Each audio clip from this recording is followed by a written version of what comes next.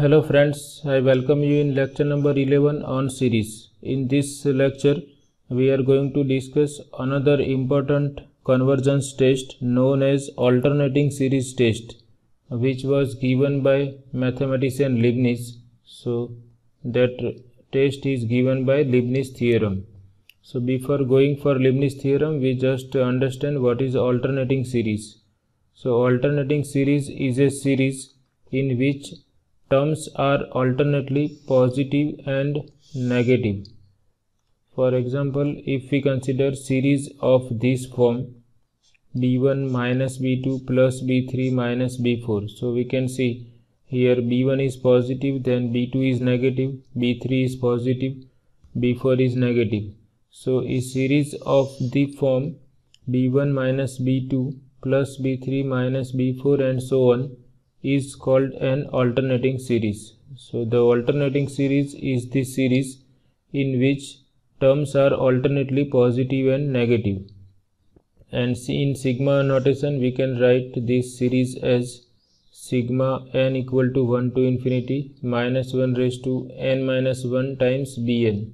If we wish we can write minus 1 raised to n plus 1 also it will remain same so this is example of alternating series 1 minus 1 by 2 plus 1 by 3 minus 1 by 4 equal to sigma n equal to 1 to infinity minus 1 raised to n minus 1 divided by n.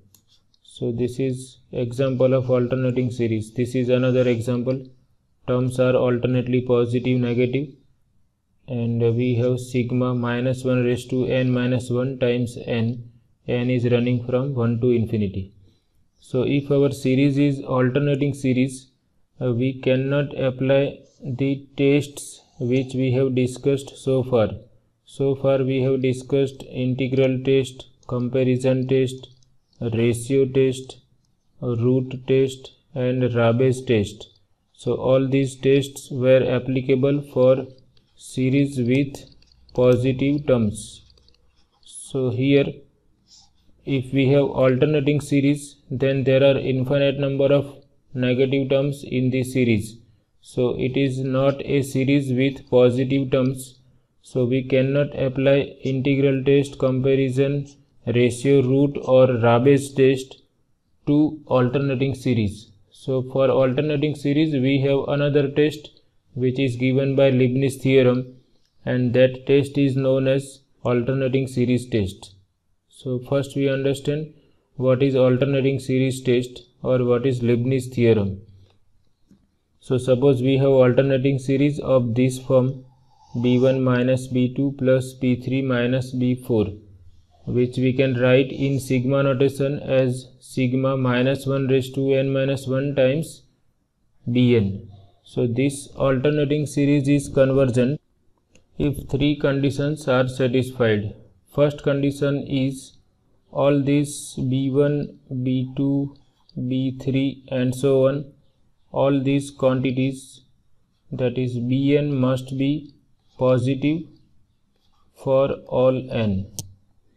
Second requirement is if we concentrate on these terms b1 b2 b3 then b2 must be smaller than b1 b3 must be smaller than b1 that means the sequence bn is decreasing sequence. If we consider these terms bn then b1 must be greater than b2 b2 must be greater than b3 and so on. So this we can represent it as bn plus 1 if we consider nth term and n plus 1th term then bn plus 1 must be less than or equal to bn. This is second requirement. And third requirement is if we consider limit of bn as n tends to infinity it must be equal to 0 so the alternating series is convergent. If all three of the following conditions are satisfied first condition is bn is positive for all n. Second condition is bn plus 1 is less than or equal to bn. And or we can understand in this way also b1 is greater than or equal to b2 b2 is greater than or equal to b3 and so on. So bn must be decreasing and limit of bn as n tends to infinity must be equal to 0 so if these three conditions are satisfied for an alternating series then alternating series is always convergent.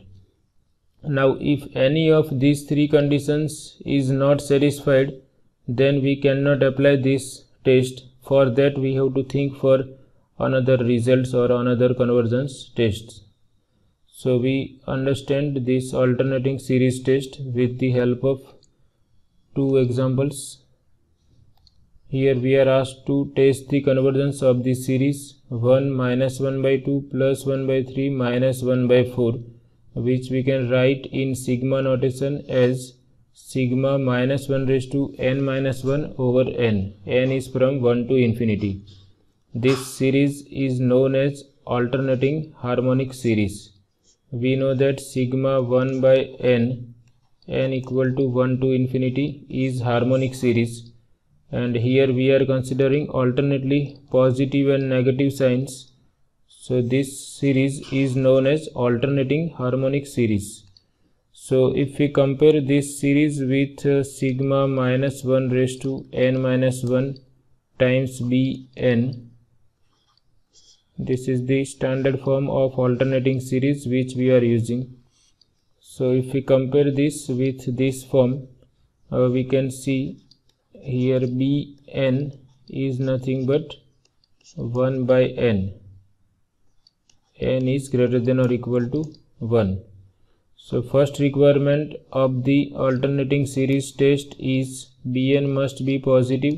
So it is clear that bn is positive for all n greater than or equal to 1 second requirement is bn plus 1 must be less than or equal to bn or if we consider difference of bn and bn plus 1 then it must be greater than or equal to 0 so either we can consider difference of bn and bn plus 1 or here it is clear uh, we know that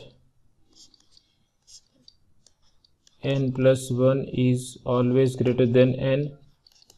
This is clear. This is true for all natural numbers starting from 1 so if we take reciprocal we have 1 over n plus 1 is less than 1 by n for all n greater than or equal to 1 now this is bn.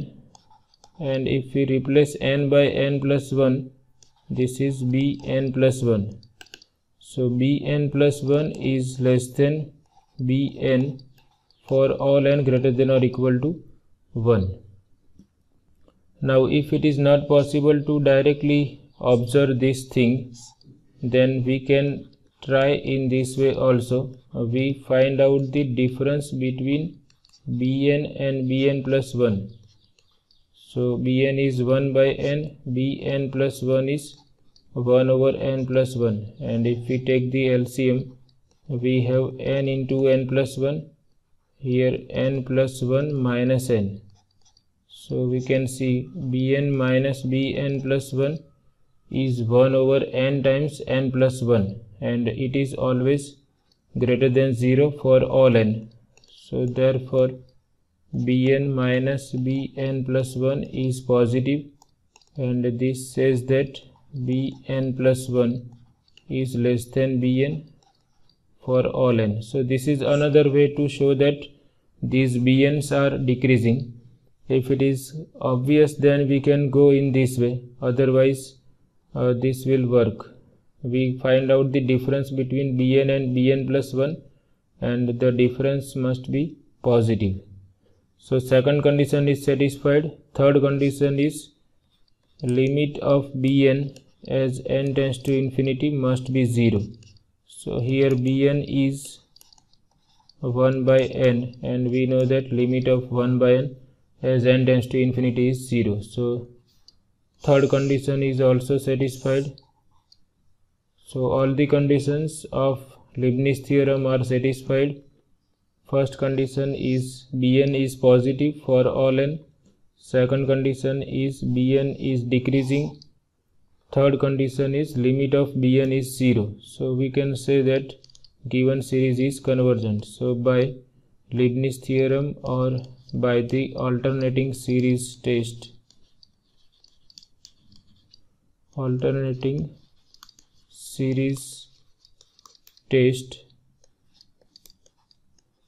Given series is convergent.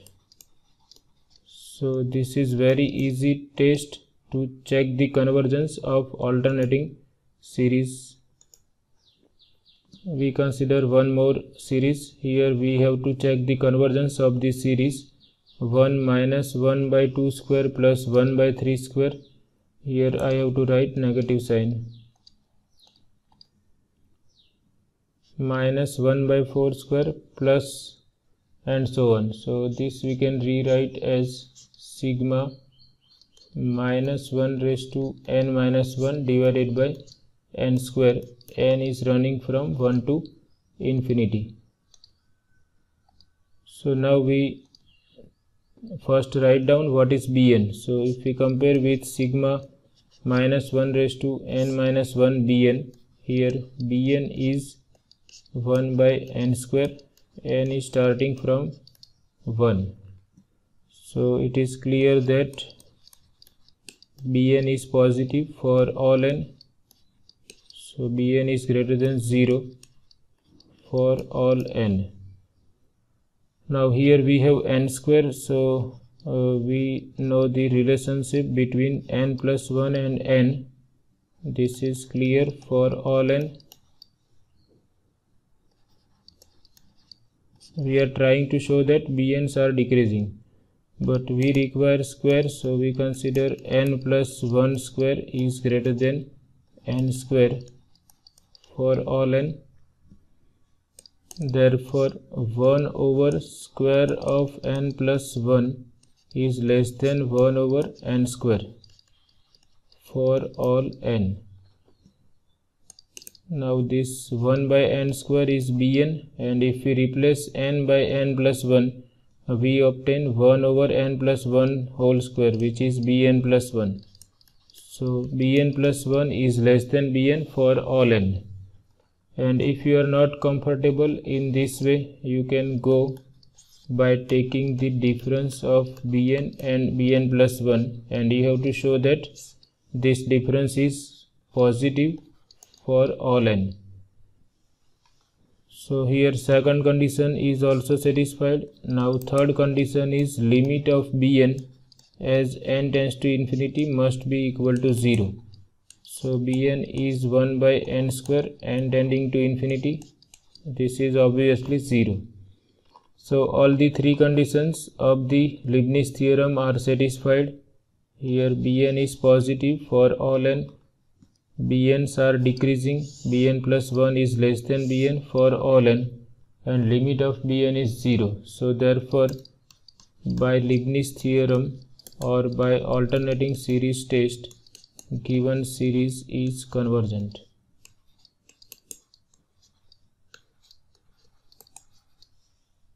Is convergent.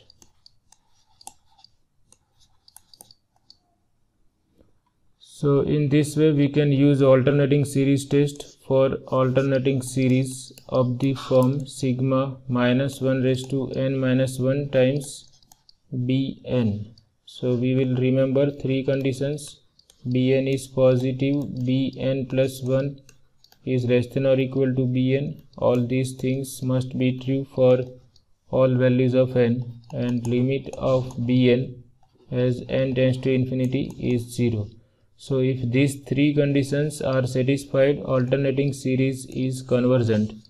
But if any of these three conditions is not satisfied, we cannot apply Leibniz theorem or we cannot say anything about convergence using alternating series test. So in that case, we have to think about another result or another convergence test. So this is all about alternating series test i hope you like this video thank you very much